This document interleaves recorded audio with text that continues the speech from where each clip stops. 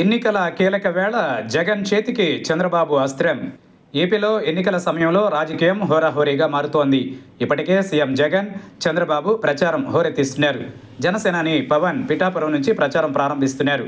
ఇదే సమయంలో చంద్రబాబు సింగనమల వైసీపీ అభ్యర్థి రామాంజనేయులపైన చేసిన వ్యాఖ్యలు సీఎం జగన్ స్పందన ఇప్పుడు సోషల్ మీడియాలో వైరల్ అవుతున్నాయి.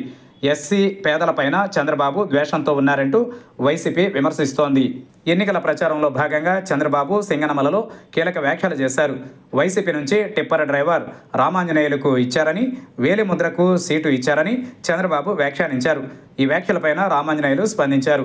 తాను ఎంఏ ఎకనామిక్స్ చేసినట్లుగా సర్టిఫికేట్ చూపించారు. అదే సమయంలో తాను ఎస్సీగా పేదవాడిగా పుట్టినందుకు గర్వపడుతున్నానని చెప్పుకొచ్చారు. ఇక ఇదే సమయంలో దళితులుగా పుట్టాలని ఎవరు కోరుకుంటారని గతంలో చంద్రబాబు చేసిన కామెంట్స్ ఇప్పుడు మరోసారి వైసీపీ నేతలు వెలుగులోకి తీసుకొస్తున్నారు. సింగనమల అసెంబ్లీ నియోజకవర్గానికి టిప్పర్ డ్రైవర్ రామాంజనేయులు మడకసిరకు ఉపాధి హామీ కూలీ లక్కప్పను అభ్యర్థులుగా ఎంపిక చేశారు వైసీపీ అధినేత జగన్. గతంలో ఇలాగే అత్యంత సాధారణ వ్యక్తులైన మాధవి నందిగం సురేష్లను ఎంపీలుగా గెలిపించడం ద్వారా తాను పేదలు అణగారిన వర్గాల పక్షపాతిని అని చాటి చెప్పారు జగన్. చంద్రబాబు సింగనమల అభ్యర్థిగా రామాంజనేయులకు అవకాశం ఇవ్వడాన్ని అవహేళన చేయడాన్ని సీఎం జగన్ తప్పుపట్టారు తమది పేదల పార్టీ అని స్పష్టం చేసిన జగన్ రామాంజనేయులు విద్యార్హత గురించి వివరించారు. చంద్రబాబు కంటే ఉన్నత విద్యావంతుడని వెల్లడించారు. చంద్రబాబు హయాంలో ఉద్యోగం రాక టిప్పర్ డ్రైవర్ అయ్యాడని చెప్పుకొచ్చారు.